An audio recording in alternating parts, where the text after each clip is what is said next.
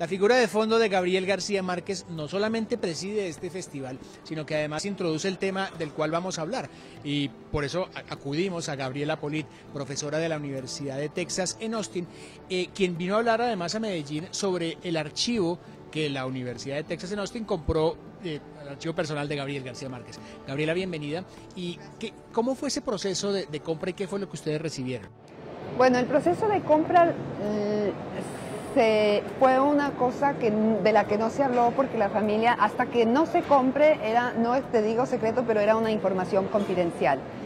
Cuando Steve lo, nos contó, nos dijo que en el 2012, diciembre del 2012, la familia García Barchá eh, lo contactó y que como un, un, adelanto, él ya estaba interesado, él empezó a hacer, recaudar el interés en la universidad y siete meses después, ya cuando García Márquez había fallecido, la familia lo, lo vuelve a, decir.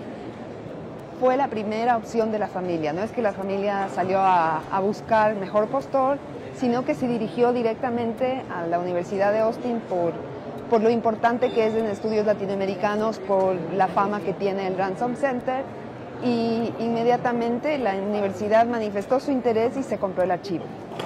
Cuando esto pasó, fue Steve con un bibliotecario, José Montelongo, a ver qué era lo que había. Habían 40, eh, 40 cajas de cartón. Bueno, eh, todo eso es todo lo que José eh, puso en una lista, salió en los medios. No se sabe exactamente qué hay dentro de esas cajas porque a partir de que se transportaron de México a Texas, eh, quién está haciendo la clasificación y la codificación. Los bibliotecarios dijeron, eh, necesitamos espacio y esto se abre al público, incluyendo el público local de, profesores en la universidad a partir de octubre. Ahora en octubre la universidad lanza la casa por la ventana para abrir el, para abrir el archivo y, y hacerlo hacerlo a lo grande, ¿no? Saber que el archivo entra a dispo disponibilidad de los, de los interesados. Los interesados. Eh, a finales de octubre, ¿qué es lo que va a haber? Porque entiendo que en efecto van a botar la casa por la ventana. Sí, bueno, a finales de octubre va a haber un, una celebración de García Márquez. Eh, viene Salman Rushdie a, a hacer, eh, abrir, digamos, el evento, era amigo personal de Gabriel García Márquez.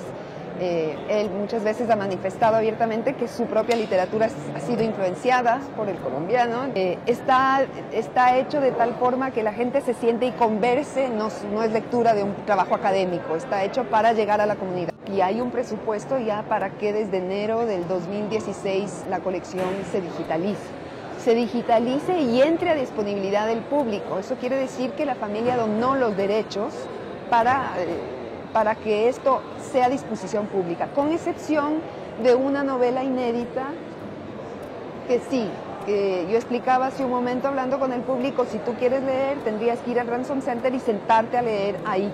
No, no puedes. Se, se, podrías leerla, no puedes fotocopiar, no puedes tomar fotos, ¿no? Hay, hay mucha seguridad respecto a eso, ¿no? Eh, pero no, eso no entraría a ser digitalizado y, y puesto a disposición.